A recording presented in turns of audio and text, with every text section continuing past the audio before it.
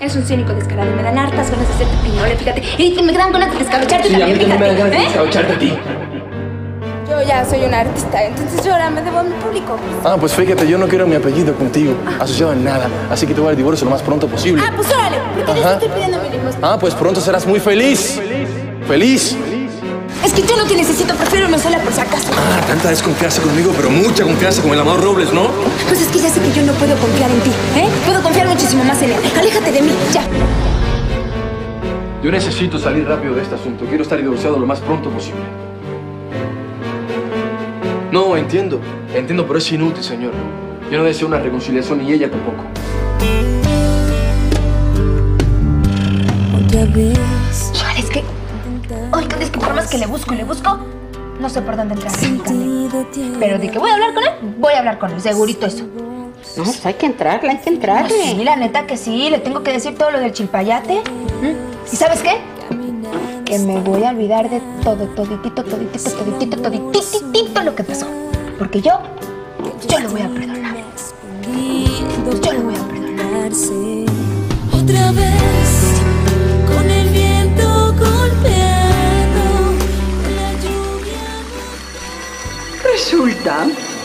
El cumpleaños de una niña como tú y su mamá la sacó a pasear para festejarla y la llevó al cine.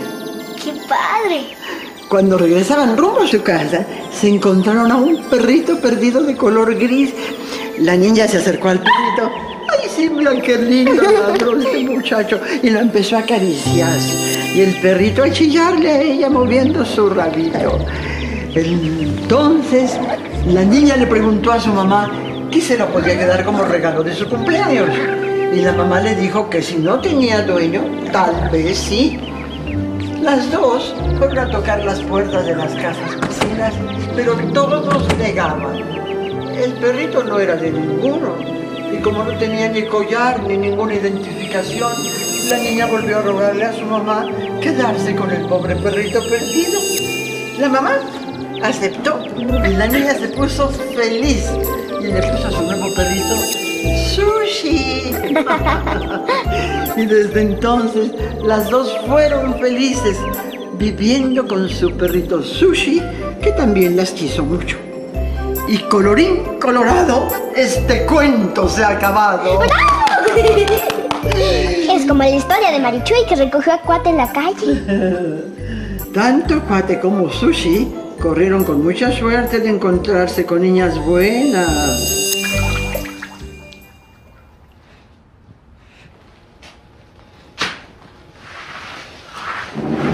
Hola.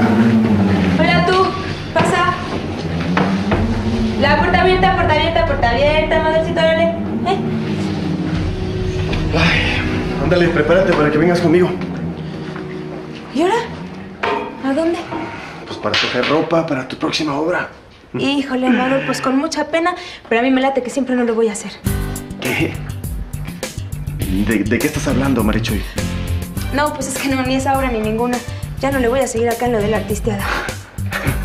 Pero, ¿y eso por qué?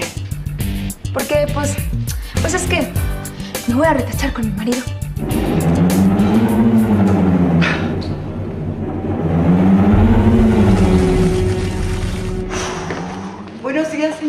Buenos días, Volvina. ¿Va a desayunar? No, no, Volvina, ando un poco retrasado. Tengo consulta en el hospital psiquiátrico. ¿Mayita se fue al colegio? Ya, señor. Ok, Ma- ah, Malvina, quiero que, quiero que le demos una sorpresa a Mayita cuando venga de la escuela. Sí. Ok, quiero que el perrito cuando ella venga esté vacunado y que tenga un collar con la identificación de esta casa. Por favor, ella me lo pidió anoche. No se preocupe, señor.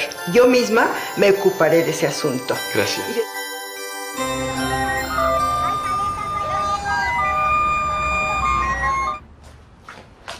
Ahorita mismo voy a ir al cantón de Juan Miguel para ver si así ya puedo platicar con él en mi cande.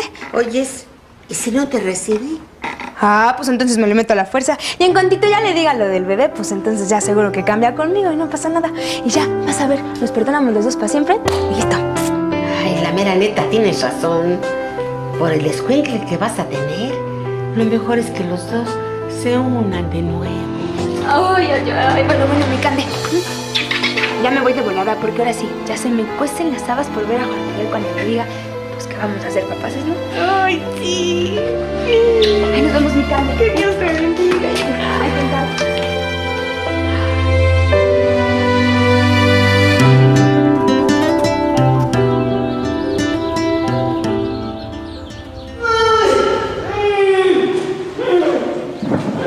Ya no tiene remedio, doctor San Román.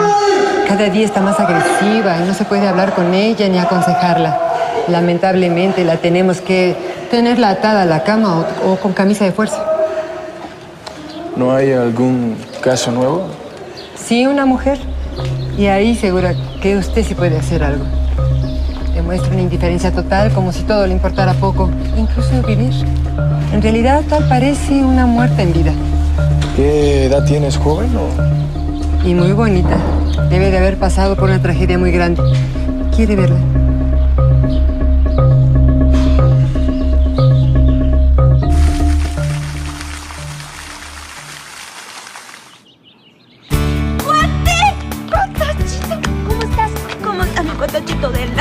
Mira nada más qué precioso. Qué elegante andas aquí, ya tienes collar y toda la cosa, a ver. Cuate San Román. ¡Órale tú! Ahora sí no te me vas a perder nunca, ¿verdad? Señora Marichuy, ¿y esa sorpresa? Ay, Malvina, ¿cómo estás? ¿Eh? Es que ahora vine a ver a Juan Miguel. Y el doctor se fue a trabajar. Oye, es que tengo que platicar con él. Pues si quiere, déjele el recado conmigo. Uh, no, no, lo que pasa es que sí es algo rete importante y pues sí, no, pues tengo que decírselo solo a él. Pero yo creo que aquí me voy a quedar esperándolo hasta que se retache, ¿eh?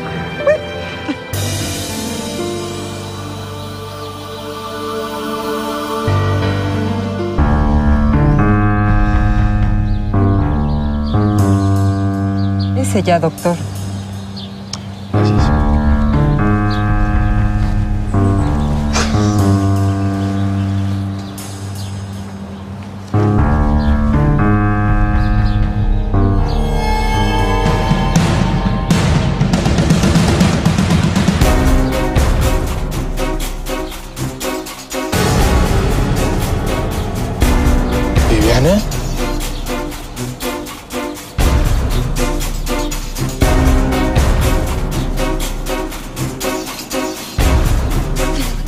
No, mi cotachito. No, mi cotachito precioso. Ay, no sabes todo lo que te tengo que contar. Tengo que contarte un chorro de cosas, no sabes todo, todo lo que me ha pasado, mi cotachito. ¿eh? Si yo te extrañaba a ti. ¿Se puede saber qué haces aquí? Te estoy preguntando. ¿Qué haces aquí? Vengo a hablar con Juan Miguel. ¿Qué le vienes a decir? Es que a ti no te importa, a ti no se te quita lo metiche, ¿verdad? Lo que yo vengo a decirle a mi esposo no es tu rollo, fíjate. Y a ti no se te quita lo corriente y lo grosera. Vaya, ya era hora que te hubieras educado un poco, pero evidentemente no. ¿Quieres hablar con Juan Miguel sobre el divorcio? A mí el divorcio me vale. Corro. Bueno, pues te informo que va muy rápido y que muy pronto van a estar separados legalmente. Ay, no me digas. Pues entonces ya veremos si sí nos separamos después de lo que tengo que decirle a Juan Miguel.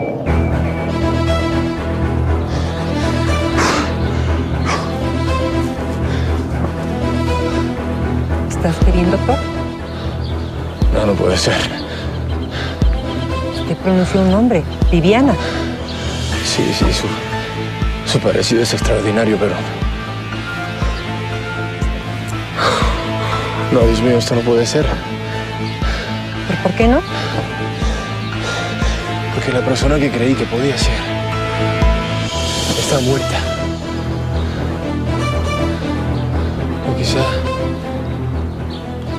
Mío, quizá no lo está y... Es ella. Me imagino que no estás enterada si es que tengo el gran placer de comunicarte que mi compromiso con Juan Miguel se ha reanudado y que por fin nos vamos a casar. Pues fíjate que también yo dudo que te cases con él después de todo lo que yo tengo que decirle. ¿Cómo te quedó el ojo presumida? No tengo por qué seguir soportando tus impertinencias.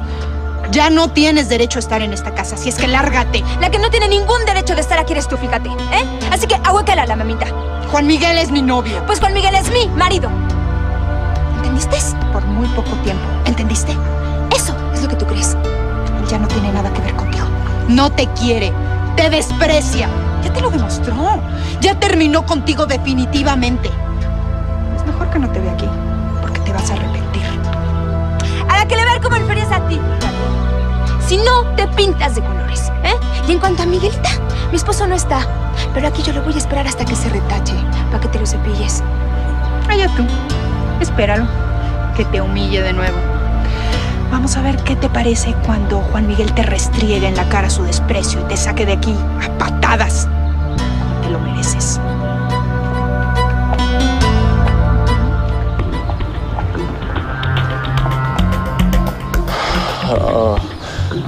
Laura, ah, ¿me, puedes, ¿me puedes dejar solo con ella? Por supuesto, doctor.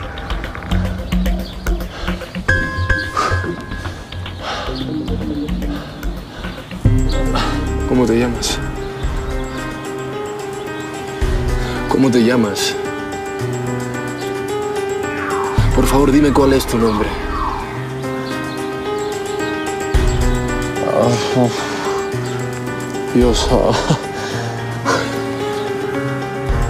¿No me quieres contestar o, o no te acuerdas?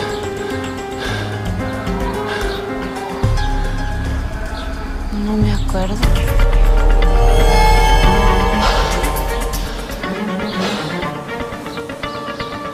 Eres Viviana. ¿No te dice nada ese nombre? Y yo, mírame los ojos, por favor.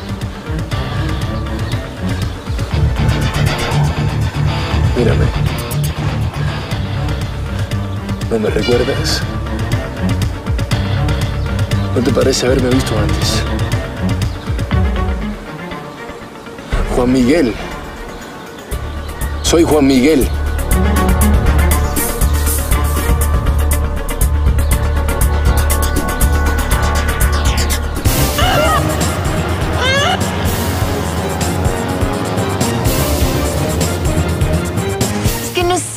Cuate. ¿eh? Juan Miguel no me va a despreciar y tampoco me va a sacar de aquí a patadas. Pues, ¿qué se cree?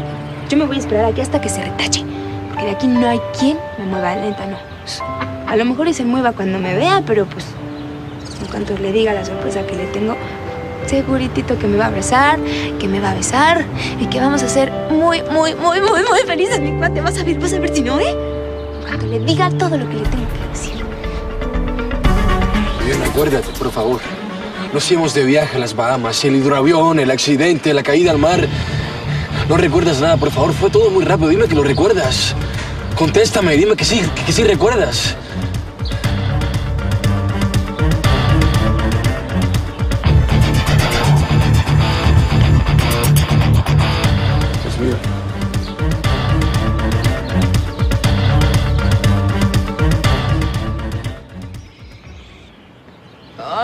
El Juan Miguel se está tardando de retear, tú. ¿A qué viniste? ¡Hola, Mayita! Vienes a llevarte a cuate, ¿verdad?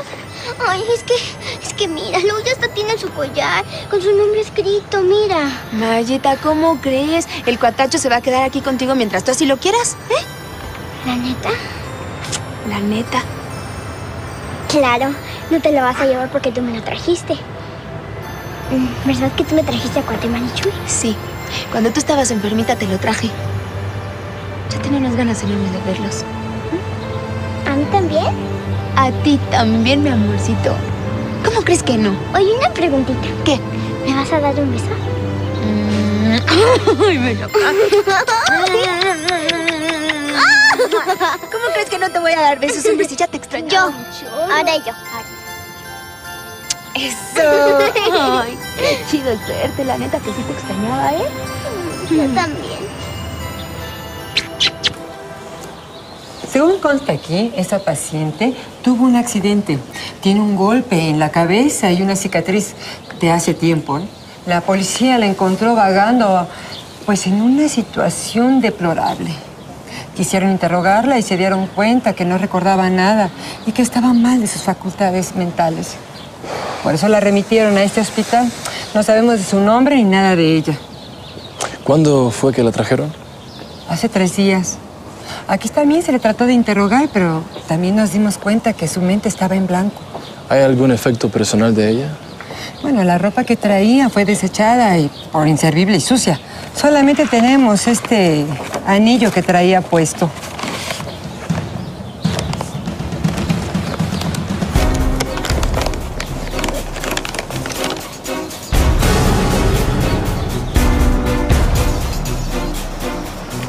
Esa mujer es mi esposa.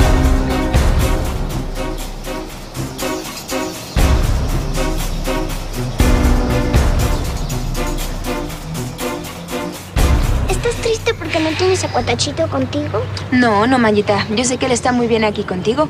Que tú lo quieres retar, ¿tú, verdad? Porque aparte yo he visto que tú lo tratas bien suave, ¿no? Yo solo por eso me siento así bien felizota de que te esté acompañando. ¿Sabes? ¿Qué? Eres como un hijito. Oyes, ¿y no te gustaría también tener un hermanito? Pues clarín, pero no tengo quien me lo dé. Mm, pues quién quita yo. Además de cuate, ¿qué tal que? ¿Qué tal que yo pueda darte un hermanito? Sí, sí. Ay, a ver qué más nos cuenta Martirio. Sobre el chofer, ¿eh? porque esa no se me va una. Ay, perdóname, nena, pero... Ceci, ¿Dónde andabas, mamá?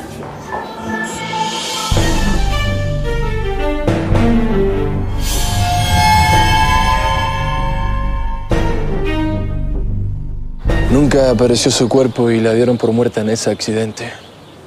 Pero esa mujer es mi esposa. Su misma cara, su misma voz. Y si hubiera alguna duda quedaría desvanecida ante esta prueba. Este es su anillo de casada con nuestras iniciales y la fecha de nuestra boda. Bueno, entonces su esposa solamente estaba desaparecida. Lo terrible es que, que todos estábamos convencidos de que había muerto y, y me volví a casar. Comida al cuate Marichu. ¿Quieres venir a la cocina? Oh, no, la neta, yo creo que mejor me voy a quedar acá. Lo que pasa es que estoy esperando a tu jefe para poder platicar con él. Ya debe de estar por llegar, ¿no? Ay, bueno, órale. Bueno, vente, cuate, vamos a la cocina a darte de comer. Oh, yo, yo ya con Miguel. Ya regresa que ya te suelte de mi ronco pecho que... ¿Gusta comer algo, señora Marichuy? No, Barbina, gracias. No, no tengo ganas. Oye, ¿y qué te traes con esto de señora Marichu y todo eso? ¿Usted está casada con el señor? Pues Simón, pero para mis cuatachones yo sigo siendo nomás la Marichuy. Sal. Sale. Por lo menos mientras no haya gente delante. Oye, ¿tú crees que Juan Miguel se tarde todavía mucho? ¿Quién sabe? Si quieres, déjale un recado conmigo. No, no, no, no. Lo que pasa es que tengo que decírselo yo mismita. Como prefieras. Bueno, voy a darle de comer a Mayita. Si tú quieres algo, me dices, ¿eh?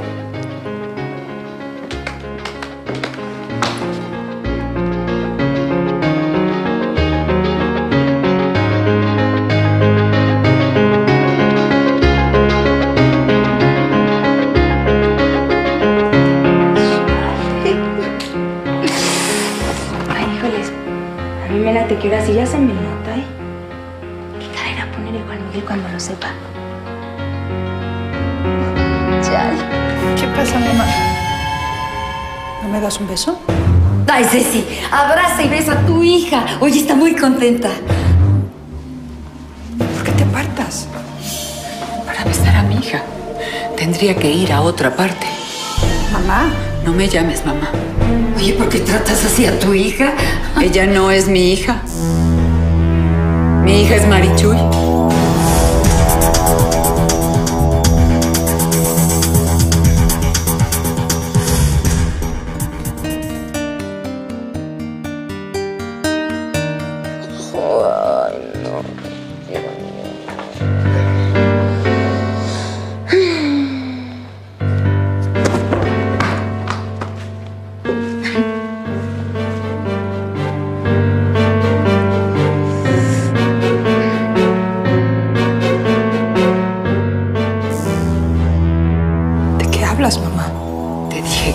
Dijeras mamá.